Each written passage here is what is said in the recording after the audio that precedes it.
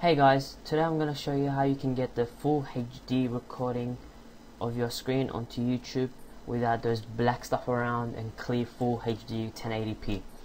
First thing you will need is QuickTime. Just open up your web browser, go to Google and type in QuickTime. Go to Apple's website and um, choose choose your thing, whichever one it is and rather go with um, with iTunes or without iTunes, whichever one you want, and just download it, install it, and then you will need Camtasia Studio. To do that, you would um, you need a video. It doesn't matter how it is, a small one, just that's okay. So once you do open up Camtasia Studio, go to Batch Productions, Add Files and Projects and just go through like there goes the one I previously did which is perfectly fine. Um, go next. You go to preset manager new. So here you could just type in like your username for YouTube. Now I'll type mine in. Choose MOV now this which is QuickTime movie it won't work without if you don't have QuickTime installed. So install it and then go to QuickTime and click on next oops yep. Go to you come here go to QuickTime options. Go to settings.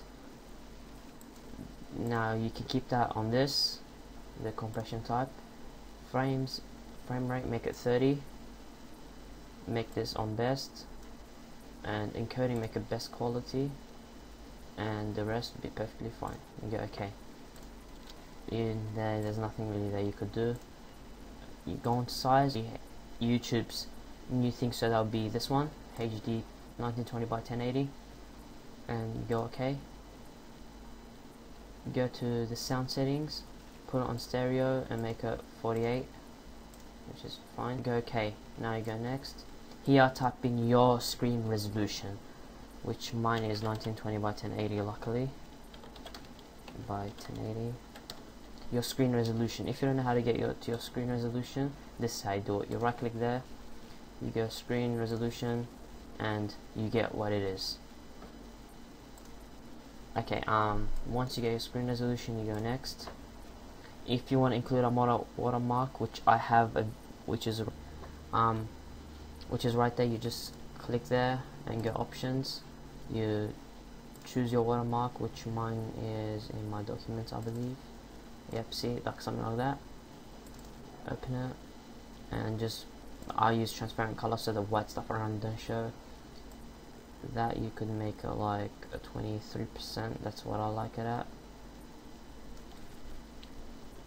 Image scale make it like 13 or something. That you can put it wherever you want in the middle or whatever. It's up to you but I like it right there on the corner. You go okay and then finish close and cancel. And yeah that's about it. That's how you do it